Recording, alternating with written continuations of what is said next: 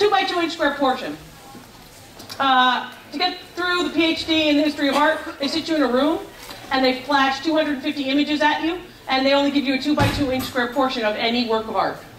So they give you the Mona Lisa, but they only give you her eye. Did you know she has no eyebrows? No eyebrows. They'll give you a pottery shard. They'll give you a Monet haystack. They'll give you whatever they might give you. So what they do is they train you to develop a photographic memory. So all I get is this, that little point. And I have to be able to identify it by the brushwork and say, okay, this is an American piece and it's made in this time period, it's made with this kind of pigment and this hand. So when you bring me the back with stretcher bars and a mitered corner on these stretcher bars, it's like party time for me. I don't just get a little bit. I get the whole thing. I get to look at the structure, I get to look at the color of the canvas, the darker the canvas, the older the canvas. I get to look at American stretcher bars. That means this piece is actually stretched in the United States and probably painted by an artist in the United States. I get to show you the measurement in between each of these nails, which tells you where was the art school where this artist was trained. Amazing stuff. Stuff that you would go, how does she know that? Because I look at all these objects. This is all I do. I'm not married. I don't have kids. I don't have pets. I don't bake. I have no hobbies. This is it. This is what I do. this particular piece is worth about $7,500. It dates to about 1920 to 1940. The frame is another 350 bucks. Where do you keep it? Into the mic, honey. She didn't like it. She didn't had, like it. She had it in the basement, and I said, Mom, I love that painting. I love she that said, painting. She said, take it. Go take it. So I have it hanging in my bedroom. Hang it in the bedroom. Basically what you want to make sure that you do is keep it out of direct sunlight, no pledge, no Endust. If the cleaning lady comes over, she doesn't dust it. I know it's you, it's me too. but there's all of a sudden I'm talking to I don't clean. Okay, well I clean. So that's what you're looking at. Did your mother smoke? Well, there's some smoke residue to it. The, the woman who had left it to her, yes, was a smoker. The person who left it to her was a smoker. probably been at least 35 years. Okay, so that's what I see on it. And I haven't seen you or met her or knew that woman or anything. And that's Antiques Don't Lie. Antiques will tell you if you know what the questions asked. It's a beautiful piece. Thank you. Very nice. Not quite sure, I can't read who the artist was. Why does that matter? Why does that matter? You're all artist happy. You go, what do you mean I'm artist happy, Lori? What are you talking about? Don't I have to know who the artist is? Well, yeah, but you know what? I look first, before I start talking about artists, I first look at how good the work is. What do I mean by how good the work is? Well, I look at things like, is it convincing to you that if you were an ant this big, and you were placed here next to this horse, that you could move back in space? That you actually can move from this place in the foreground to that place in the background? Is it, because really what we have is we have a two-dimensional flat pane, we're trying to make it look three-dimensional, right? So how did you acquire this? It was my father's second wife and uh. Okay. The other thing I want you to look for are lines or linearity because the artist is trying to get you to move around this composition. For example, when you see horizontal bands, horizontal lines like this one, they want your eye to rest, like a horizon line, where your eye will rest. When you see a line that's going straight up and down, they want your eye to frame something. When you see a diagonal line, that diagonal, like if you'll notice, all of these rooftops are on a diagonal. Did you see that? Right here, one big diagonal line. They're trying to move you up and down those rooftops visually. And people say, I didn't know they were doing all this. Pretty well-trained artist, American folk art. The frame is not so great. You know, the frame is like my thighs. Not so great. You know? The value on this piece is going to be about $750 based on who the artist is, the composition of the painting, how good the painting is. The painting is acrylic, it's not oil. Here's the other problem that you have. On this particular painting, someone said, oh, I want to make sure it's protected with cardboard. Cardboard's acidic and it will damage your artwork. Get rid of the cardboard. I don't care what you collect. I don't want to hear about, oh, all my collectibles are in the basement in a cardboard box. In the attic in a cardboard box. Cardboard will damage your works. They'll damage your works of art. You'll never get them back. So, remove this. leave it alone, and allow the canvas actually to breathe. Okay? Nice. You acquire the Silva painting from the great artist colony of Carmel, California. My daughter knows. Okay. Your daughter knows. You're too darn cute. I should just come over there and kiss you. All right. Family, family. Family. Gave it to you. Because they figured that you wouldn't need cholesterol drugs and you'd outlive everybody. What's your first name? Uh, Amy. Hey, Amy. The artist is William P. Silva. He is actually. I know, I just said that. My father's great uncle on his mother's side. Oh, God. So, Last night I'm hearing someone says, I got that from my mother-in-law's, yeah. my mother-in-law's uncle's fourth wife. And I'm going, really? How do we even keep these people straight? There's one of you guys. You married? You've been married once? You know, you're 30, you know, once, right? Okay. Who was this again? it's, my. It would have been my dad's great uncle is the painter. The value on the piece is $25,000. Thank you. Okay, so now all those people and what the provenance is, I don't even care. Here's what you have. You have a Silva painting, and they typically will sell anywhere between, well, they have sold between about twenty and twenty-five thousand dollars. It is an American Impressionist California landscape. Do we see them in Fort Wayne every day? No. Did we see one today? Yes. Why did we see it? Because they're in the family. All right. So, do you have a bigger one? Tell me you have a bigger one. Yes. Good. But this one is a typical quintessential Carmel, California art colony painting. And they're looking for them all over. You know who collects these? Clint Eastwood.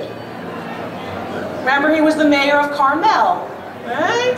So now we're talking about, look what walked in. Little tiny, unassuming painting, right? It is on board.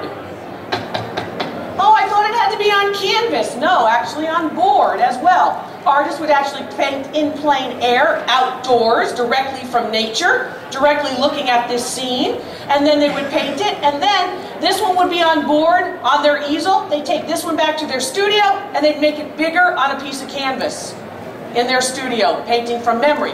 This is the direct piece, directly from nature, and this particular piece is oftentimes worth even more than some of the other ones. Did you acquire this? antique store. Really? You bought this with your own money? Yes, You bought this with your own money? yes we did. You liked it? Yes, How much do you like it? On a scale of 1 to 10, do you love it at 10? I paid twenty. Okay, did you hear that? She's not going to answer the do I love it. She's going to go right to I got a bargain. Right? She's smart. She's smart. She figured out a bargain. Because it's a real oil painting. Yes. Okay. It's by an artist who is in training. Okay? You know, when a baby's in training, toilet training. Yeah, you're getting there every once in a while, but most of the time you still need some more work. That's what this needs. So I'm glad you didn't spend more than $20 on it. Where is the painting painted and what do you know about the artist? LMD. Oh, No clue, that's why I brought it to you, Dr. Lori. Come on, right? So, LMD, this particular piece is an artist, and there's a couple of things that you can look for to uh, try to identify who's who. First of all, lots of smoking around this painting. Now, you got it at a store, so you don't know who had it before you, but lots of smoking at this particular painting. This particular piece is dirty. If you cleaned it, right, it would be worth a little bit more and it would look a little bit better, but for the most part, it's probably not worth you investing in the cleaning cost. Okay? On the back, these are, of course, mitered corners. This particular stretcher is handmade. So it's probably a Sunday painter, someone who didn't go to school for art but liked art enough. You'll notice too that it is an inconsistent in between, inconsistent measurement in between each nail, right? They're usually consistent in the art schools. They're an inch in between each one. They're half an inch in between each nail. This one is just nailed in anyway, willy-nilly. Value on this piece, about the $20 that you paid. It's American, it's made anytime between 1925 and 1940. Thank you. He got this particular piece when he befriended a elderly Canadian woman, and she said that, well, you know, before we got, before he was my ex, he had befriended other women. we'll leave it at that, right? So this particular friendship resulted in this piece going to your son, his son. And it is by an artist named um, Morel Bouchard, a relatively well-known late 1900s or late 20th century uh, painter in France. Um, you'll see these pieces sell anywhere between $1,200 and $1,500.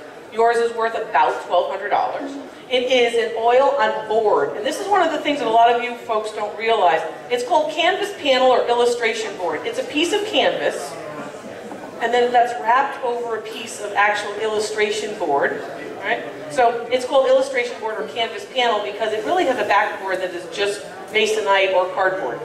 And then they put the canvas. They don't stretch the canvas around stretcher bars. It's kind of the quick and dirty way to get yourself a canvas so you can paint with oil on top of it. Your piece is worth about $1,200, pardon me, and it is a piece which is signed, which is good, um, a piece which is in relatively good condition, and we typically see them in places like Canada, right, French Quebec, for example, and other areas. He's best known for these pictures sort of of urban life, is what you've got. Why am I A? Why am I not impressed? That was given to my parents by Brad Shoemaker. Christmas card. It was nice of him. All the foxing is what I'm not impressed by. The mold on the piece, which happens over time. Foxing looks like little dots, right? And foxing actually is where the paper starts to deteriorate over time. Sometimes it relates to, of course, um, a change in temperature and humidity, where dirt and such starts to get involved in there. Value on the piece in my hand is going to be about $200. So you bought this one with that one? Uh, different town. Different town. Okay, let's talk a little bit about Brad's. So this is on board. This is a piece of oil. This is oil paint on board. Move you. And then this particular piece is attached with what are framer points. These framers points are contemporary. They're rather new. They're probably from between 1990 and yesterday. Yeah. Okay? Now, that indicates to me that this particular piece was put into this new frame. So the frame is worth about, I don't know, 60 bucks. The painting, however, is in fact worth a little bit more. So this is the General Wolf Inn on the back of this. A stepping stone for Annie Lennox and the Eurythmics. All right, so that's what you've got. You've got a 1992 uh, European-based piece, a piece that probably is valued somewhere around $250 because it's a famous place. But it's a contemporary work. It's realistic in its style, so it looks like the actual work, the actual place. Right? Now, if you were to sell it here, is it worth more here? Or is it worth more next to a cassette tape or a CD of the Eurythmics? You see where I'm going with this? I want you to unite objects in order to get top dollar. This piece isn't worth all that much just as a painting, right? But it is, in fact, worth more if you connect it to the very famous person. It's called celebrity promotion, right? You know, it's why, you know, certain celebrities will bring a little bit more interest to a piece. It's a nice painting, though. Pretty well handled, too. Thank you. She died when she was 100 in 2015. Gosh, died at 100. Imagine what 100 is seen. She's You're 100. I mean, you know, I'm 26 and I think I've seen a lot. right? Right? Okay, it's not that funny though, you know, I have to say. Anyway. Okay, so you've got this, and she died at 100 and she would travel. So this is a Spanish colonial piece. It's made later 1800s, early 1900s. But it's in the Spanish colonial style, and it says here, of course, Our Lady of Lourdes at the bottom. So, in Spanish. Um, this particular piece is painted onto a piece of metal. You hear it? I want you to, everybody in the video to hear it too. And you're seeing, of course, these particular figures. You're seeing, of course, Our Lady. Mary is always shown in blue. Mary is always shown in a blue, our Virgin Mary is always shown in a blue mantle, going all the way back to the Renaissance, and even farther back than that. And the reason why she's always in blue is that blue was actually, in the history of art, used to, used to um, only show people of great reverence, like the Virgin Mary. Because it's made with a combination of lapis lazuli, that stone would be crushed down, and then mixed with egg or tempera paint. And then basically, blue would be, because lapis lazuli was so expensive, you would use blue. So as time goes on, even if you're not using lapis lazuli in your paints, they would continue to use blue as a sign of reverence or honor. And that's what you're seeing here. Spanish colonial pieces like this were very typical, and they were typical in retablos. They were also typical with santos, figures of, of course, um, saints would be placed onto a personal altar, or they would be placed, pieces like this would be placed in a home altar, or on a wall, just like a crucifix might. This is oil paint on, of course, tin, on a base metal, a tin type metal. Um, and base metal is just a term for inexpensive metal. And then you're seeing, of course, the roses. Certain flowers have symbolism as well. So, for example, Mary is oftentimes seen in a closed garden, an enclosed gate, which is reference to her virginity. Have a closed gate. Oftentimes, she is also seen with roses, that idea of having, of course, that heroic flower of the Queen of Heaven to in fact be among her. You'll notice she's wearing a rosary bead. You're seeing the rosary beads are very important as well. And you're seeing this figure who is also carrying the rosary beads. Shown in a landscape as John in his gospel described her, described her amongst, of course, a amongst, of course, a um, rocky landscape, sometimes shown on a hill or with rocks around her as well. That idea, of course, referencing the womb and Jesus Christ in the womb. Value on this piece, about $750. It dates to about the latter part of the 1850s until about 1875. It's really quite nice. I have seen some of them, not as good as yours, but some of them most likely in areas around the Gulf of Mexico. I see them, of course, in places like Louisiana, I see them in parts of Florida, and I see them mostly in Texas. Very nice. Thank you.